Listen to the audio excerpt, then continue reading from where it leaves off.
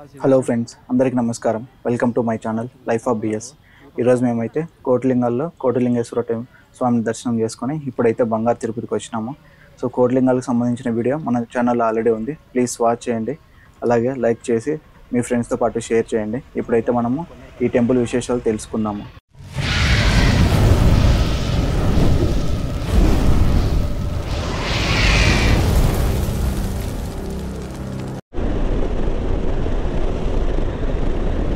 So అందరికి వచ్చినట్లయితే మనకి ఇంకా ఆ, కోట్లింగాల నుండి బీకోట్ రూట్లో పోతాము. అక్కడ బేదమంగళ దాటిన తర్వాత మనకి ఇట్లా లెఫ్ట్ టర్న్ అయితే వస్తుంది ముల్బాగల్ రూట్. సో ఆ రూట్లో వెళ్ళినట్లయితే మనం ఇంకా అక్కడ కనెక్ట్ అయిపోవచ్చు అనమాట మరి బంగారు తిరుపతి దగ్గరికి అయితే వెళ్తాము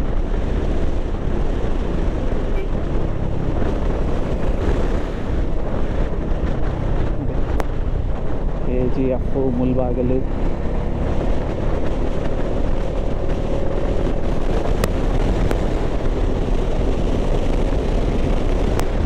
మొత్తం గాలి అయితే బీభత్సంగా వస్తుంది అసలు.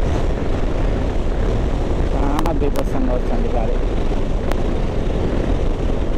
రోడ్లు బాగున్నాయి. అదొక బెస్ట్ థింగ్ ఈ రోడ్లు ఎప్పుడింటో కూడా బాగున్నాయి ఆల్మోస్ట్ నేను five six five six more than seventy eight years ముందు కూడా వచ్చిన్నాను అప్పుడు కూడా బాగున్నాయి రోడ్లు.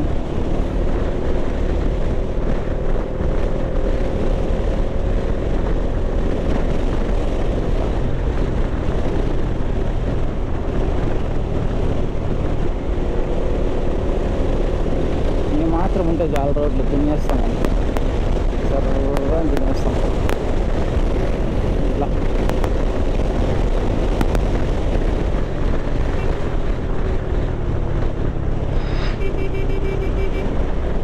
సో ఇక్కడ ముందర లెఫ్ట్ తీసుకోవాలా బంగారు తిరుపతికి చలో లెఫ్ట్ తీసుకోవాలన్నమాట ఇక్కడ వచ్చి లెఫ్ట్ ఇది బంగారు తిరుపతి రోడ్డు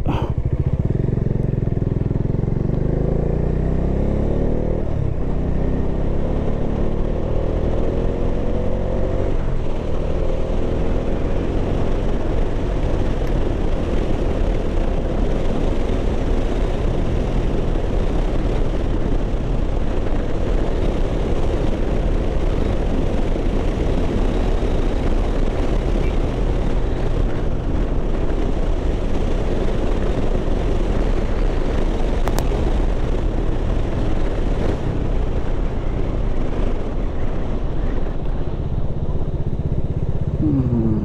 ఇక్కడ బంగారు తిరుపతి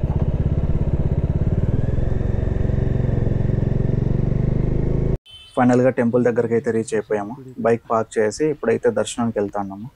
ఈ టెంపుల్లో మనకి వెంకటేశ్వర స్వామి ఫేమస్. ఇక్కడ వెంకటేశ్వర స్వామితో పాటు లక్ష్మీదేవి అలాగే క్షేత్రపాలకుడుగా ఆంజనేయ స్వామి అయితే ఉంటారు. తిరుమలలో వెంకటేశ్వర స్వామిని మనం ఎదురుగా నిలబడి దర్శనం చేసుకుంటాము. కానీ ఈ టెంపుల్లో దేవుణ్ణి అయితే మాత్రం కిటికీలో నుండి మాత్రమే దర్శనం చేసుకుంటాము. ఎదురుగా నిలబడి అయితే దర్శనం చేసుకోలేము. మనకి ఉడిపిలో ఏ విధంగా అయితే శ్రీకృష్ణుడిని కిటికీలో చూసి దర్శనం చేసుకుంటాము. సేమ్ ఇక్కడ కూడా అలాగే. వెంకటేశ్వర స్వామిని కిటికీలో నెట్టు చూసి దర్శనం చేసుకు ఈ బంగారు తిరుపతి కోలార్ డిస్టిక్లో అయితే ఉంటుంది. సో కోలార్ నుండి థర్టీ కిలోమీటర్స్ దూరంలో అయితే ఉంటుంది. సో ఒకప్పుడు బంగారు గనులు ఎక్కువగా ఉండే ఈ కోలార్ పరిసరాల్లో స్వామి వెలిసాడు కాబట్టి ఈ ఆలయానికి బంగారు తిరుపతి అని పేరు వచ్చిందని ఇక్కడ వారు నమ్ముతారు మనం గుడి లోపలికి వస్తూనే ఇక్కడైతే మనకి పెద్ద కోనర్ అయితే కనబడుతుంది సో ఈ కోనర్లో వాటర్ అంతా చాలా క్లియర్గా చాలా నీట్గా ఉన్నాయి. సో మొత్తం ఇక్కడ మొక్కులు తెచ్చుకోవడానికి గుండ్లు కొట్టించుకోవడానికి ప్లేస్ అలాగంతా ప్లేస్ అయితే ఉంది ఇక్కడ. ప్లేస్ ఏమైనా మనకి విశేష సేవలు చేసుకోవాలనుకుంటే దానికి కావాల్సిన టికెట్ అవన్నీ తీసుకోవాల్సి వస్తుంది ఇక్కడ. సో చూడండి ఎంత బ్యూటిఫుల్గా ఉందో కోనేరు అయితే ఇక్కడ. ఇక ఇక్కడి స్థల పురాణం గురించి వచ్చినట్లయితే ఒకసారి లోక కళ్యాణార్థం కోసం కశ్యప ఆత్రేయ మార్కండేయ గౌతమ భృగు మహర్షి వీళ్ళంతా యజ్ఞం చేపట్టారట. అక్కడికి వెళ్ళిన నారదుడు ఆ యాగ ఫలితం త్రిమూర్తుల్లో ఎవరికి ఇస్తారని అడిగినప్పుడు ఒక్కొక్కరు ఒక్కో స్వామి పేరు చెబుతూ గొడవ పడ్డారట. చివరకు నారదుడి సలహాతో భృగు మహర్షి త్రిమూర్తుల్లో ఎవరు గొప్పో తెలుసుకునేందుకు బయలుదేరాడట. ముందుగా సత్యలోకం వెళ్ళిన భృగు మహర్షిని సరస్వతీదేవి సంగీతంలో తన్మయుడైన బ్రహ్మ పట్టించుకోలేదట. దాంతో భృగు మహర్షికి కోపం వచ్చి భూలోకంలో ఎక్కడ ఆలయాలు ఉండవని శపించి కైలాసం చేరుకుంటాడు. అక్కడ పార్వతీ పరమేశ్వరులు ఆనంద తాండవం చేస్తూ భృగు మహర్షి రాకను గమనించకపోవడంతో ఆగ్రహించిన మహర్షి శివుడు నిరాకారంగా లింగ రూపంలోనే ఉండాలని శపించాడట. చివరకు వైకుంఠంలో మహావిష్ణువు కూడా పట్టించుకోకపోవడంతో ఆగ్రహించిన ఋషి స్వామి వక్షస్థలం పైన తన్నడమే కాకుండా భూలోకంలో సామాన్య మానవుడిలా పడరాని పాటలు పడతావని శపించాడు. అప్పుడు స్వామివారు భృగు మహర్షిని శాంతింపచేసి అతని పాదాలను నొక్కుతూనే అరికాలలోని నేత్రాన్ని చిదిమేయడంతో ఆ మునికి జ్ఞానోదయమై స్వామిని క్షమించమని వేడుకున్నాడట దాంతో నీలగిరి కనుమల్లో తపస్సు చేయమని తాను అక్కడే వెలుస్తానని అభయమిచ్చాడు. అలా మహర్షి నీలగిరి పర్వత శ్రేణులకు వెళ్ళి తపస్సు చేశాడని అతడిని అనుగ్రహించేందుకు స్వామి అక్కడ వెలిశాడని పురాణగాథ స్వామి ఇక్కడ మొదటిసారి భృగు మహర్షికి కిటికీ ద్వారానే దర్శనం ఇచ్చారు కాబట్టి ఇప్పటికీ అదే కొనసాగుతోంది. ఈ ఆలయంలో స్వామి సూక్ష్మ రూపంలో నిజ రూపంతో దర్శనం ఇస్తుంటే లక్ష్మీదేవిని బంగారు లక్ష్మిగా కొలుస్తారు. ఈ ఆలయానికి ఆంజనేయుడు క్షేత్రపాలకుడని ఈ స్వామిని దర్శించుకుంటే గృహ జాతక దోషాలు పోతాయని అంటారు. ఇక్కడ భారీ గరుత్మంతుడి విగ్రహం భక్తుల్ని బాగా ఆకర్షిస్తుంది. ఆలయ ప్రాంగణంలో నవగ్రహ మండపం పుష్కరిణి జంటనాగుల ప్రతిమలు కూడా దర్శించుకోవచ్చు. తిరుపతికి వెళ్ళలేని వారు ఇక్కడికి వచ్చి తలనీనాలను ఇచ్చి మొక్కులు తీర్చుకుంటారు. మనం ఇలా దేవుని దర్శనం చేసుకోవాలంటే ఆల్మోస్ట్ మనకి ఒక two hundred to three hundred steps అయితే పైకి ఎక్కాలి ఇలా వెళ్ళే మార్గంలో మనకి ఇక్కడైతే గరుత్మంతుడి విగ్రహం అయితే కనబడుతుంది. చాలా పెద్దగా చాలా బ్యూటిఫుల్గా చూడడానికి అయితే రియల్గా గరుత్మంతుడు ఉన్నట్లే కనపడుతుంది అనమాట ఇలా కొద్దిగా ముందరికి వెళ్ళినట్లయితే ఫస్ట్ మనకి ఇక్కడ ఆంజనేయ స్వామి అయితే దర్శనం ఇస్తారు సో ఈ ఆలయానికి ఆంజనేయ స్వామి క్షేత్రపాలకుడని ఇక్కడ వారి నమ్మకము. రండి మనం వెళ్ళేసి మన బాస్ని అయితే దర్శనం చేసుకుని వద్దాం. లోపల అయితే చిన్న గుహలాగా అయితే ఉంది. సో ఇక్కడ ఒక రాతికి ఆంజనేయ స్వామి పంచముఖ ఆంజనేయ స్వామి బొమ్మను అయితే చెక్కినారు. అలాగే ఇక్కడైతే మనకి విగ్రహం కూడా ఉంది పంచముఖ ఆంజనేయ స్వామి విగ్రహము. చూడండి ఎంత చిన్నదైనా కూడా ఎంత బ్యూటిఫుల్గా ఉందో. సో మనమైతే ఇప్పుడు ప్రశాంతంగా దేవుణ్ణి అయితే మొక్కుందాం ఇక అలా ఆంజనేయ స్వామి దర్శనం చేసుకొని బయట వచ్చినట్లయితే మనకి ఇంకా కొన్ని ఒక ఫిఫ్టీ స్టెప్స్ దాకా అయితే ఉంటాయి పైకి వెళ్ళడానికి. సో మనమైతే ఇప్పుడు ఆ స్టెప్స్ ఎక్కుతూ దేవుని దర్శనానికి అయితే వెళ్దాం. ఈ టెంపుల్ అయితే చుట్టూ పచ్చని చెట్లు చిన్న చిన్న కొండలు వాటి మధ్యలో అయితే ఉంటుంది.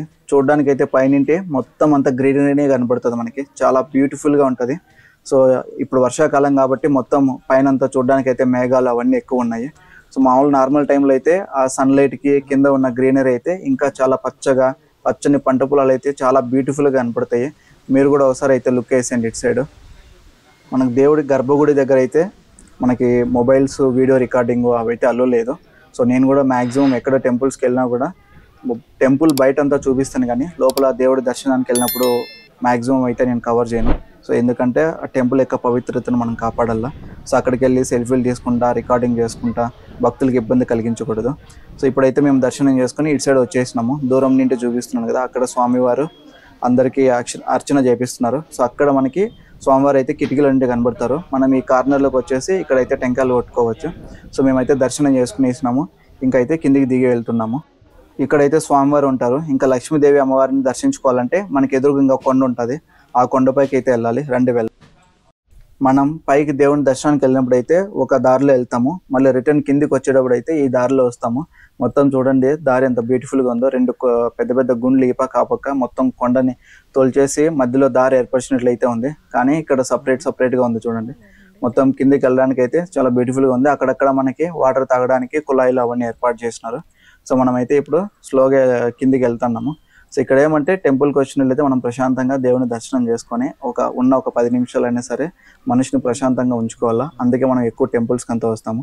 ఇక్కడైతే మధ్యాహ్నం టైం కాబట్టి ఇక్కడంతా అన్నదానం కూడా చేస్తున్నారు. మేము లాస్ట్ టైం వచ్చినప్పుడు ఇది లేకుండా ఉండే ఇప్పుడైతే అన్నదానం కూడా చేస్తున్నారు. రండి మనమైతే ఇప్పుడు ఈ అన్నదానాన్ని దేవుని ప్రసాదంగా స్వీకరిద్దాం. ఇక్కడైతే అన్నదానం మామూలుగా మధ్యాహ్నం టైంలో అయితే ఉంటుంది. సో మేమైతే ప్రజెంట్ లోపలికి వచ్చి కూర్చున్నాము ఇంకా. భోంచేయడానికి అయితే సో ఒక్కొక్కసారి యాభై మందిని అయితే లోపలికి అలో చేస్తారు. సో యాభై మంది ఒకసారిగా మొత్తం వడ్డించిన పలహారాలన్నీ తినేసి వెళ్ళిన తర్వాత నెక్స్ట్ మళ్ళీ క్యూ లైన్లో ఉన్న వాళ్ళని మళ్ళీ ఒక యాభై మందిని అయితే అలో చేస్తారు. సో మనకి అన్నదానంలో భాగంగా ఇక్కడైతే కూరగాయలతో చేసిన సాంబారు అలాగే రసము అలాగే మజ్జిగ చట్నీ ఇవన్నీ అయితే ఇస్తారు. ఇట్లా ఇన్ని రకాలు అయితే ఇస్తారు మనకి. సో దేవుని దగ్గర ఏం దొరికినా కూడా మనకి మహాప్రసాదము. సో మేమైతే అన్నదానం చేయడానికి అయితే ఇక్కడ మనమైతే విరాళాలు కూడా ఇవ్వచ్చు. సో నేనైతే నా వంతుగా దేవునికి ఇక్కడ అన్నదానం చేసే వాళ్ళకి కొద్దిగా విరాళాలు అయితే ఇస్తున్నాను. విరాళాలు మన ఇష్టం మనం ఎంతైనా ఇవ్వచ్చు. సో వంద రూపాయల నుండి నూట యాభై ఐదు వందలు మన ఇష్టం ఎంతైనా ఇవ్వచ్చు. సో మనం నగదు రూపంలో ఇస్తే ఇక్కడైతే వాళ్ళు రిసిప్ట్ ఇస్తారు. లేదంటే మనకి క్యూఆర్ కోడ్ ఉంటుంది. క్యూఆర్ కోడ్ ఇచ్చినట్లయితే డైరెక్ట్ మనకి ఏదైతే ఫోన్పే కానీ గూగుల్ పేలో ఏదైతే రిసిప్ట్ ఉంటుందో అదే రిసిప్ట్ ఆన్లైన్ రిసిప్ట్ ఉంటుంది. సో ఈ విధంగా నేనైతే నా వంతు సహాయం చేసి నెక్స్ట్ ఎదురుగా ఉన్నటువంటి లక్ష్మీదేవి అమ్మవారిని దర్శనం చేసుకోవడానికి అయితే వెళ్తున్నాము. ఇక్కడికి చేరుకోవాలంటే మనకి దాదాపు ఒక రెండు వందల స్టెప్స్ అయితే ఎక్కాల్సి వస్తుంది. చిన్న కొండ మీద అయితే ఉంటారు అమ్మవారు. సో ఈ అమ్మవారిని బంగారు లక్ష్మీదేవిగా అని పిలి పిలిచి అందరికీ ఒక రిక్వెస్ట్. వీడియోస్ అయితే చాలామంది చూస్తున్నారు కానీ సబ్స్క్రైబ్ చేసుకోవట్లేదు. ప్లీజ్ సబ్స్క్రైబ్ చేసుకోండి. అలాగే లైక్ చేయండి షేర్ చేయండి మీ ఫ్రెండ్స్ అండ్ ఫ్యామిలీస్ తోటి. అలాగే మీకు ఇంకా ఏమైనా డిఫరెంట్ ప్లేసెస్ ఎక్స్ప్లోర్ చేయాలి. ప్లస్ ఈ ప్లేస్ సంబంధించిన ఏమైనా ఓపెన్ క్వశ్చన్స్ ఉన్నాయి అవి ఏమైనా ఉండే కామెంట్స్ రూపంలో మాకు తెలియజేయండి. మేమైతే ఆ ప్లేసెస్కి వెళ్ళి ఎక్స్ప్లోర్ చేసి మీకైతే ఆ ఇన్ఫర్మేషన్ అంతా మీతో షేర్ చేసుకుంటూ ఉంటాము. సో ప్లీజ్ సబ్స్క్రైబ్ చేయండి అలాగే సపోర్ట్ చేస్తూ ఉండండి. ఈ గుండు పైకి ఎక్కలు ఉన్నాయి ఇప్పుడు వీటికి మూడోసారి నాలుగోసారి రావడం మూడోసారి. మూడోసారి నాలుగోసారి అనుకుంటా. మా అమ్మలది ఒకసారి మళ్ళీ నేను ఒకరిని ఒకసారి మళ్ళీ చంద్ర ఫైనల్గా స్టెప్స్ అన్ని ఎక్కునేసి పైకి అయితే అమ్మవారి గుడి దగ్గరికి అయితే వచ్చేసినాము గర్భగుడి దగ్గరికి. ఇప్పుడైతే వెళ్ళి అమ్మవారిని అయితే దర్శనం చేసుకుందాము రండి. చూడొచ్చు మనము అటు సైడ్ నుండి ఎంట్రీ వచ్చి లోపల అమ్మవారిని దర్శనం చేసుకుని ఇలా అయితే బయట వచ్చినాము. సో లోపల అయితే ఉన్నారు అమ్మవారు గర్భగుడి లోపల. నేనైతే అక్కడంతా వీడియో రికార్డ్ చేయలేదు. జస్ట్ బయట నుండి మాత్రమే చూపిస్తున్నాను. సో ఇక్కడ మేమైతే దర్శనం చేసుకొని ఇంకా రిటర్న్ అయితే వెళ్తున్నాము. ఇక్కడ కూడా రావడానికి అయితే ఒక దారి ఉంది. ఇంకా వెళ్ళడానికి అయితే ఇంకో స్టెప్స్ దారి అయితే ఉంది. ఆ దారిలో అయితే వెళ్దాము. సో ఇక్కడ మనం కిందికి వెళ్ళే దారిలో అయితే అక్కడ మొత్తం దేవుని ప్రసాదాలు లడ్డూలు ఆ కౌంటర్లు అయితే ఉంటాయి. మనకు కావాలంటే అవి తీసుకోవచ్చు. అలాగే చిన్నపిల్లలు ఆడుకునే బొమ్మలు అలాగే చేతికి కట్టుకునే దారాలు అవన్నీ దొరుకుతాయి ఇక్కడ. సో అవన్నీ అయితే మనం ఇక్కడ తీసుకోవచ్చు. చూడొచ్చు అక్కడ ఉన్నారు అమ్మవారు. మనం వెళ్ళేటప్పుడు అటు సైడ్ వెళ్ళాము. ఇప్పుడు ఈ రూట్లో అయితే వస్తున్నాము. ఇక్కడైతే మాత్రం చాలా ప్రశాంతంగా ఉంది. ఎత్తైన పచ్చని చెట్లు అలాగే ఎండాకాలంలో కూడా చెట్ల కింద చాలా చల్లగా ఉంటుంది. అంత బాగున్నాయి. చాలా పాతకాలం చెట్లన్నీ ఇక్కడే ఉన్నాయి. చాలా ప్రశాంతంగా అయితే ఉంది. మేమైతే ఈ స్టెప్స్ దిగేసి నెక్స్ట్ అయితే బైక్ పార్కింగ్ చేసిన అక్కడికి అయితే వెళ్ళేసి నెక్స్ట్ మనం బెంగళూరుకి అయితే రిటర్న్ అవుతాము. చూడొచ్చు. ఎంత బ్యూటిఫుల్గా ఉందో వ్యూ అయితే. ఈ చెట్ల మధ్యలో నుండి అక్కడ ఉన్నటువంటి వెంకటరమణ స్వామిని కూడా మనం దర్శనం చేసుకోవచ్చు. ఫైనల్గా స్వామివారిని ప్రశాంతంగా దర్శించుకొని నెక్స్ట్ మేమైతే బెంగళూరుకి రిటర్న్ అవుతున్నాము. సో ఈ బెంగళూరుకి రిటర్న్ అవ్వడానికి మనకైతే సేమ్ మనం మార్నింగ్ వచ్చిన రూట్ ఏదైతే ఉందో కోలా టు బైతమంగళ కోటిలింగేశ్వర టెంపుల్ అక్కడ నుండి బంగారు తిరుపతి సేమ్ ఆ రూట్లో వెళ్ళొచ్చు. లేదనుకుంటే ఈ బంగారు తిరుపతి నుండి బయట వస్తూనే మనకి వీకోట ముల్బాగల్ రూట్ అయితే ఉంటుంది. ఆ రూట్లో లెఫ్ట్ తీసుకున్నట్లయితే మనం డైరెక్ట్గా ముల్బాగల్ బైపాస్కి అయితే చేరుకోవచ్చు. ఇక ముల్బాగల్ బైపాస్ నుండి లెఫ్ట్ తీసుకుంటే మనకి ఒకటే హైవే తిరుపతి బెంగళూరు ఏదైతే నేషనల్ హైవే ఉందో ఆ హైవే కనెక్ట్ అయిపోతామో. మనకి straight road Bengaluru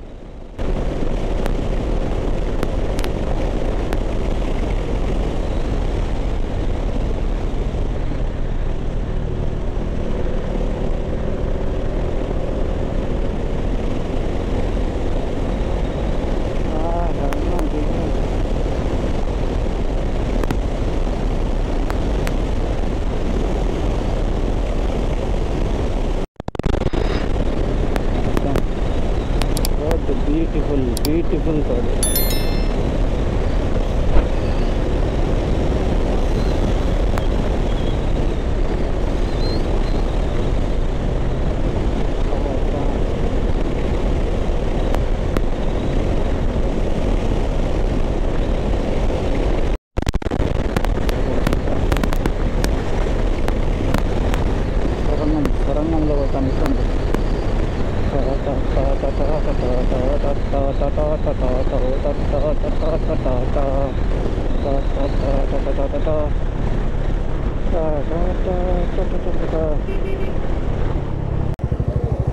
ఫైనల్గా ఇది మన చిత్తూరు బెంగళూరు హైవే ఏదైతే ఉందో హైవేలో కలుసుకున్నాం చలో ఇంకా బెంగళూరు ఒకటే రోడ్